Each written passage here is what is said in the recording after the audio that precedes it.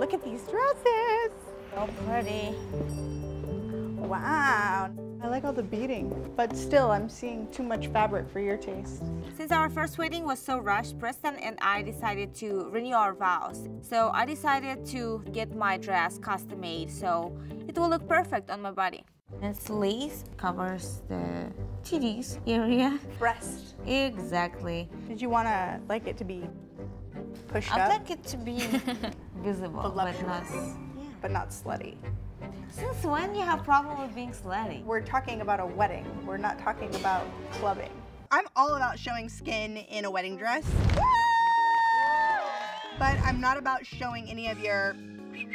You want the outfit to be sexy, but you don't want it to look like you're at Hollywood and Highland picking up dudes for money.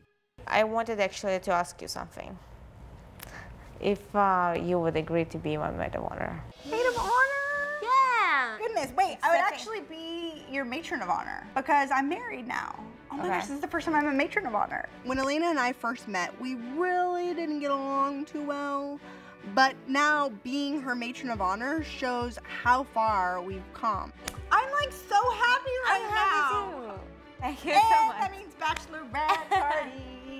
Sounds good. But please, please plan bachelorette party for married woman, okay? I'll do, I'll do my best. No strippers. No strippers. Okay.